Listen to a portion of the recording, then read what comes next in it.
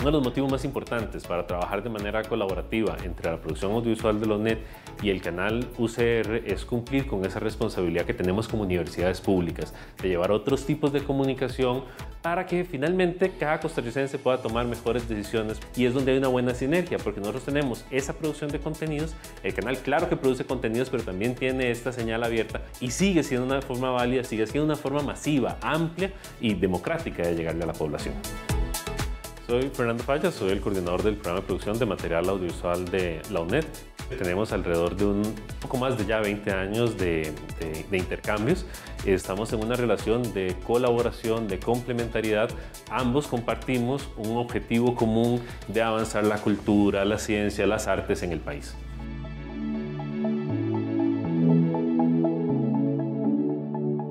La UNED ha ido madurando como institución educativa y eso quiere decir que tenemos resultados de investigación que eh, darle a la comunidad nacional. Y para eso, pues entonces tenemos que pasar de formatos de entrega uno a uno a un formato de entrega como la que tiene una televisora abierta.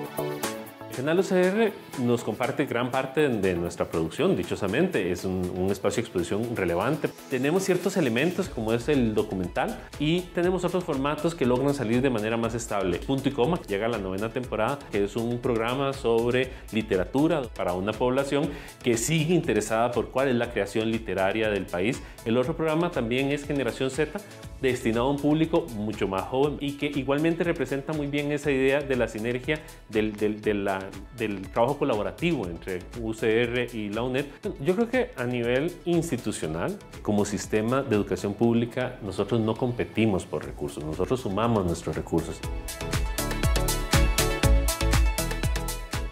El punto de colaboración en el que estamos nos invita a reiterarlo, a continuarlo, a fortalecerlo, porque finalmente lo relevante es recibir un contenido de calidad ahí donde están, ¿verdad? Y con voces que se construyen no desde las necesidades comerciales, sino más bien esta parte desde la reflexión propia del, del quehacer académico.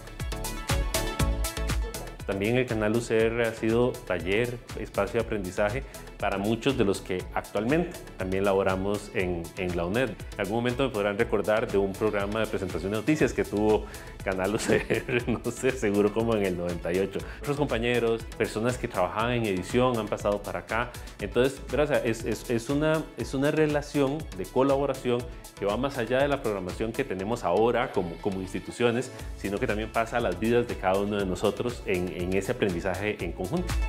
No, no sabía que iba a cumplir 40 años. Sabía que tenía tiempo porque también personalmente pues pasé también por la UCR y allá al final de los años 90 ya existía. ¿Cuánto tiempo antes existía? Sabía que un poco antes, pero que eran 40, no. Ahora está en la flor de la juventud definitivamente.